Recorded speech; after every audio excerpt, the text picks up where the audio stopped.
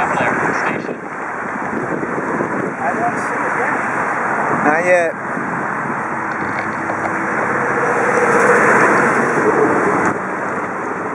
Got a little cloud cover that we're going to have to burn yeah. through.